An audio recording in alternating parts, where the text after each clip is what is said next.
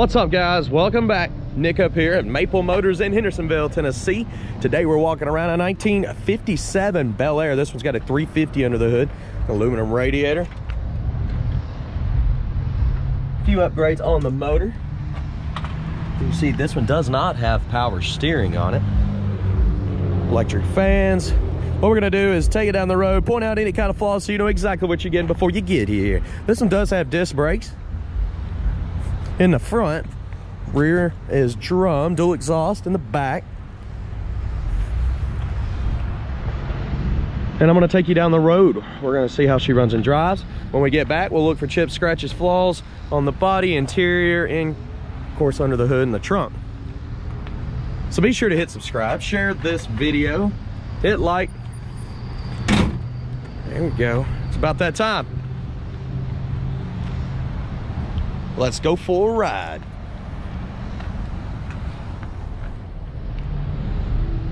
Getting ready to take off here and uh, I'm gonna look around the interior first. Check some stuff out. Place your bets. You think the horn works. Little game we play. Got some uh, Jegs aftermarket gauges, water, oil, and battery.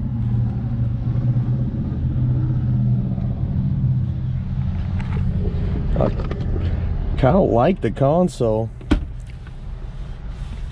It actually looks pretty good. Back seat. Look around the package tray. You can see the package tray is kind of faded on this one. The sun's got to that. Hey, we also got these new in. I've been using it every day. Check it out. We're selling them here on the uh, YouTube store along with shirts and stuff. Headliner's a bit faded. It looks kind of dirty. But I tell you what, it's not all ripped up. And the light still works. Let's go ahead and start it. Give her a little gas.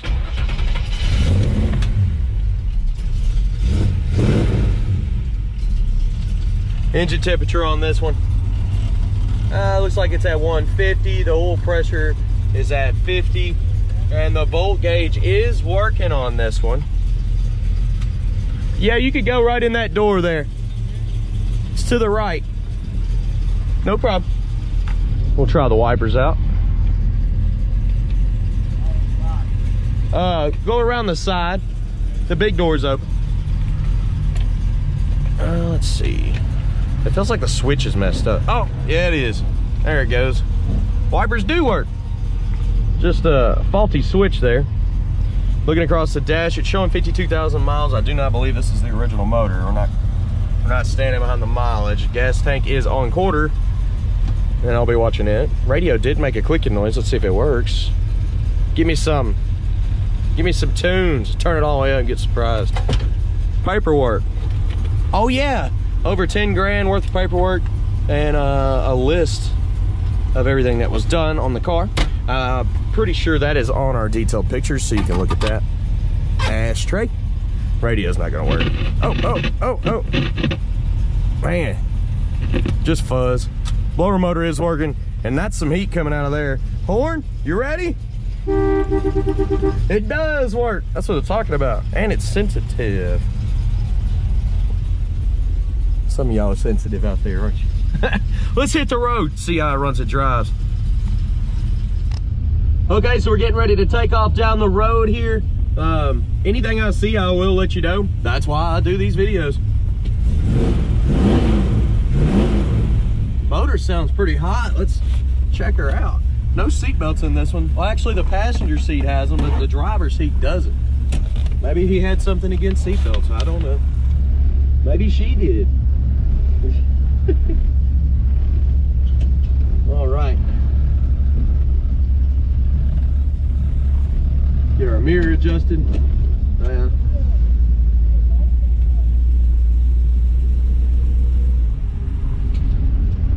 check our brakes before we leave. We want to stop, right?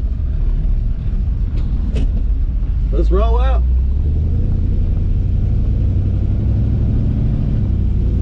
Speedometer's coming up on the dash. Steering's got a little bit of play in as you can tell. It's turning there. It's turning there.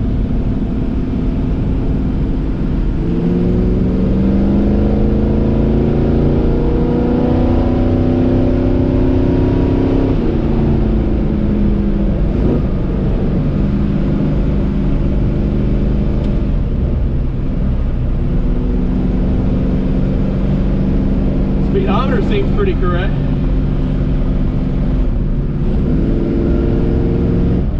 It'd help if I'd have took off in third or drive. We was in second gear. Cut the shift once.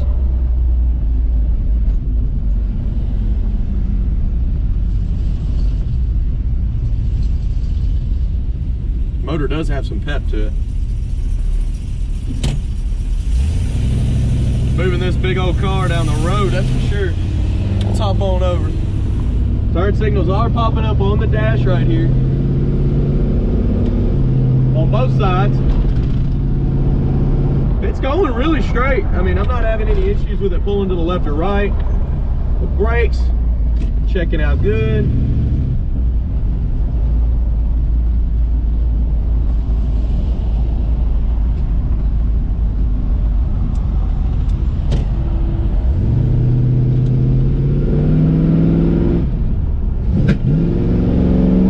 I just stomped it and had a little pop from the carburetor. I don't think the kick down is hooked up on this one.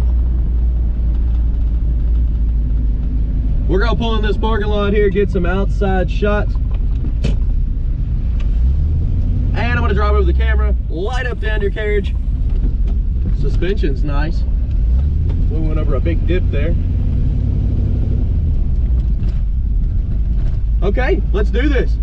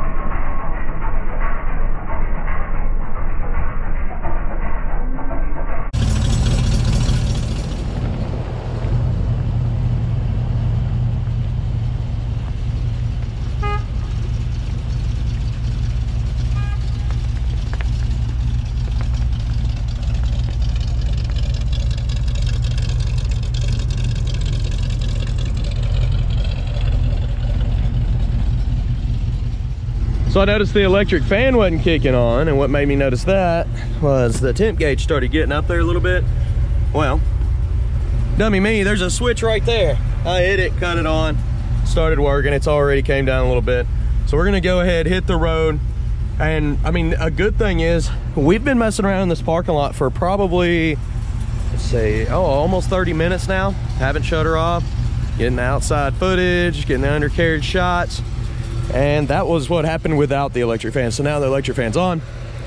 I'm not worried about it. This motor is good to go. Look how big it is too. It has two fans, so it'll be fine. It never actually overheated. I just seen it coming up and uh, I didn't want you to know that there is a switch. So when you get this car, make sure you turn your switch on. I was waiting for it to cut on by itself. Of course, you can always put it on a relay. All right, let's hit the road, finish this test drive. Got y'all set up. Got her in drive here. Let's take off.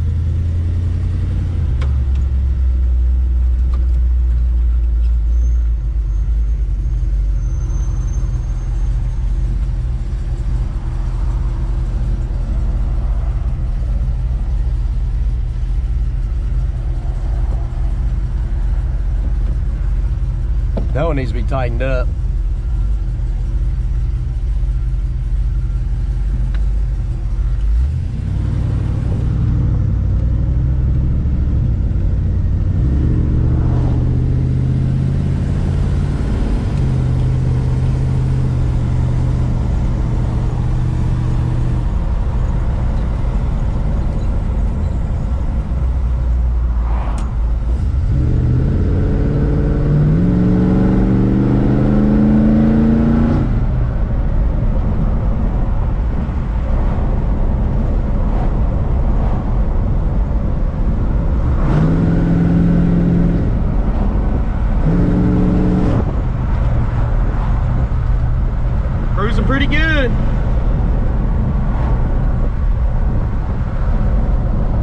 course, engine temperature is already going below 200 now. It's come way down pretty quick as soon as we hit the road.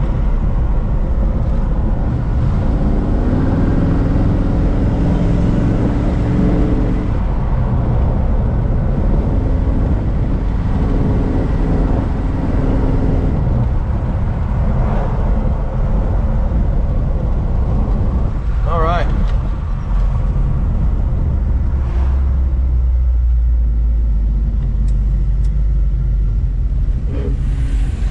Go ahead, put her in one here. Give her a little gas. Woo!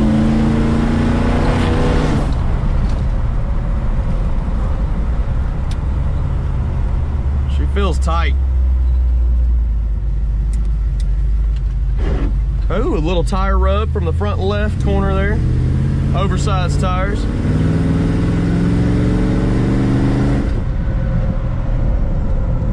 Down on the brakes again, they feel good.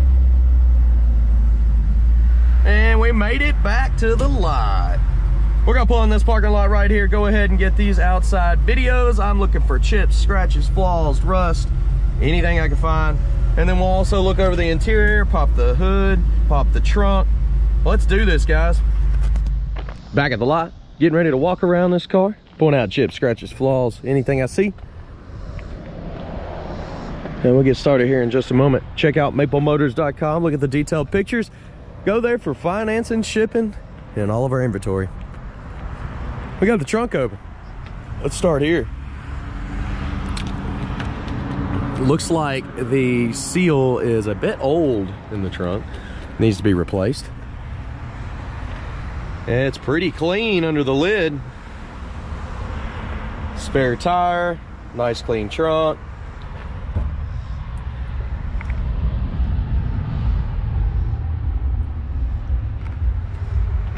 Go ahead and lift the mat. Show you up under there. It's solid. Looks like somebody's uh, cut that out at one point.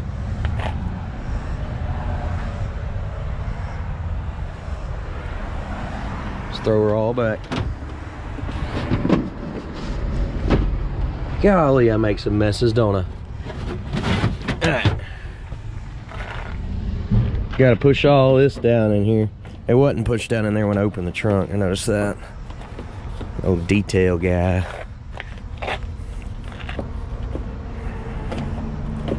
Here we go. We got some chips around your jamb there. Coming down with the lid here. Spring's pretty good. The paint job is not the best. It does have a couple little bubbles. It's like little chemical peel bubbles. It's where when it was painted, there may be on something in the air or the prep. Coming on down. Does not look bad. Light scratch on the trunk lid there. Gas cap. Let's go down the side here. Hit the lower portions first. So the bumper back here's got some chrome coming off, rust trying to pop through on it. Down on the back, same thing. Some bubbles in the bumper. Nice little crack in the chrome there.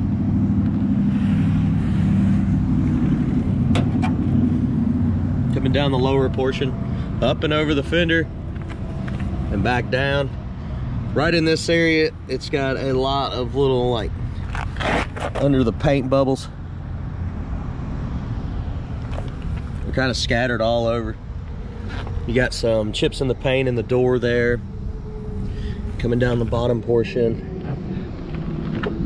There's a little bubble right there. I think that's going to be a little bit of rust. Same with this right here. Hopping over the fender chip here decent chrome. Back the midsection, blemish in the paint. No blemish there. You got some haziness on top of the fender. You also got a chip right here. Lots of little chips and stuff on this car, so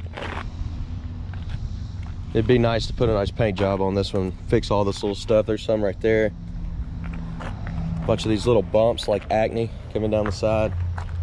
Get you a good angle so you can see it. Pretty much all the way around the car. So a lot of times that'll happen through chemical peel or prep and paint so. The chrome on this one's not terrible. It does have some blemishes. These pop up check it out. And they still work mirrors look good. Front windshield.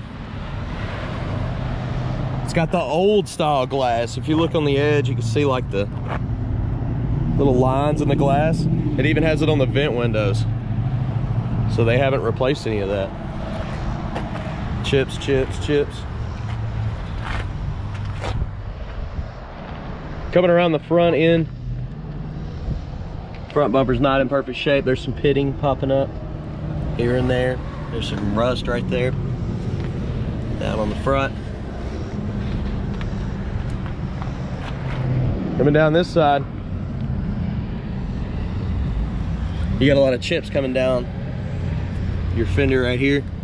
You've also got a lot of blemishes there on the bottom of the door. There's some rust down in the corner also down here. You've got some chips in the paint there. And some haziness here. Really the car deserves a new paint job. Chips there.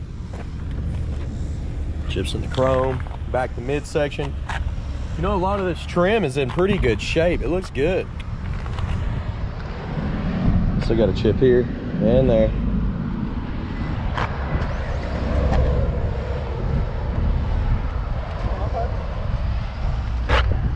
lost some shine on those pieces there. You got some chips up here on top. Light scratches here and there. Front windshield's in good shape.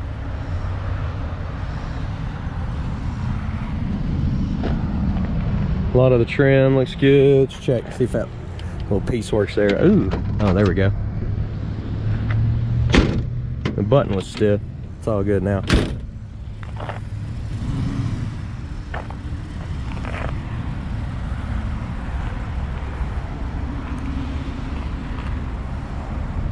coming over the back glass up over the roof.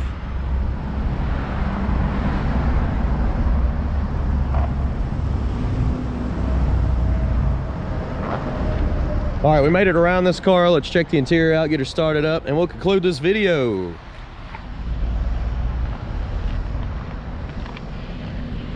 As you get in the car you can see the back. The package tray has got some sun damage in it the back seat that is grandma's couch all the way. So old school look at that. You got the little buttons i like it. Checking the jamb weather stripping is just it's weak it needs to come on needs to be replaced. Bottom of the door new jamb here kick panels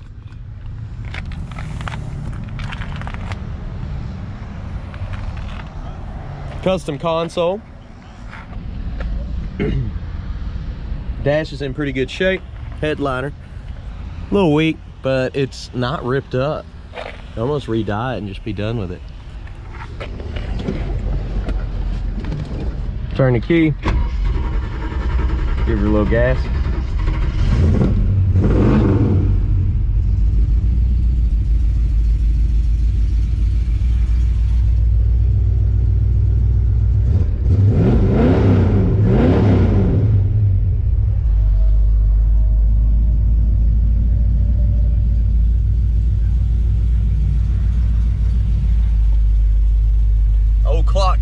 anymore.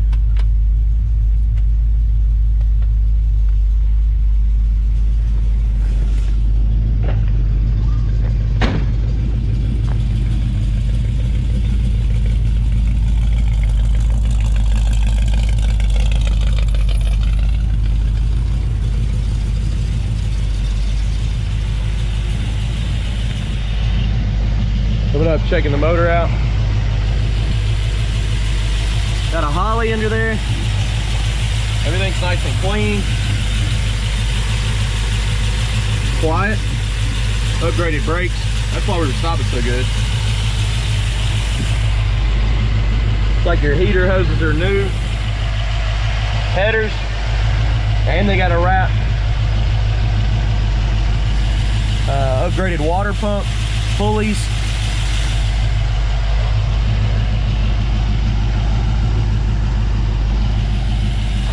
All right. Electric fan is on a switch. I would switch it over to a relay on a temperature uh, gauge. That way it cuts on whenever it hits, what, 180. It keeps her cool. It keep her under 200. Right now, you just got to manually cut it on to keep the car cool. But it did take a long time for it to actually get hot because uh, I was circling around that parking lot a long time. This hood here has got cracks all in it. You can see the chips. And you'll see that in the detailed pictures as well. If you look on top here, you've got some cracks, pitting on your chrome. A little bubble in the paint job there. That's getting ready to come off. Chip there, chip here. Scratch, scratch, scratch, scratch, scratch, scratch. Deserves a paint job. All right, guys. I appreciate you watching. If you're new to the channel, hit subscribe. Also share and hit like get this video out there for me. I'll keep these videos coming your way. Also check out the uh, gear we got on the YouTube store. I appreciate you watching. I want to thank you and I'll see you later. Have a good one, guys.